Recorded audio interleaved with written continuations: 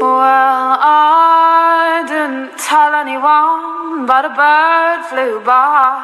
So what I'd done, he set up a nest outside, and he sang about what I'd become. He sang so low, sang so clear. I was afraid all the neighbors would hear, so I invited him in just to reason with him. I promised I wouldn't do it again. But he sang louder and louder inside the house, and I couldn't get him out, so I trapped him under a cardboard box. Stood on it to make him stop. I picked up the and above the said, That's the last song you'll ever sing.